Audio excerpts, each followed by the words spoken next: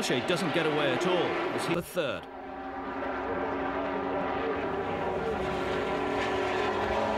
was happy to cruise his way round for 13th place, out of contention, but never in trouble.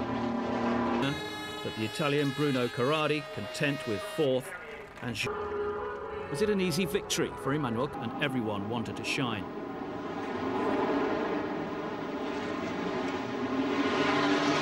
Malcher and Collard one and Jarier squeeze past Werner.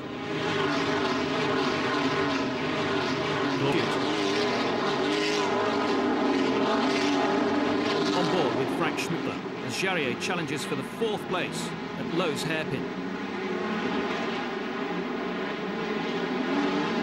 Going down towards no chance to view the expensive yachts bobbing at anchor.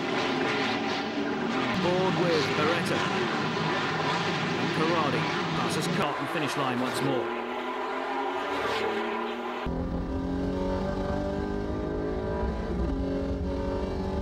Fred Hager. On the last lap, he pressurizes Horst Farnbacher into a mistake. So von Gartzen took his maiden victory with Malcher second. Guest driver Ash finished between them, but was a lap behind after his altercation with Collard and Matai.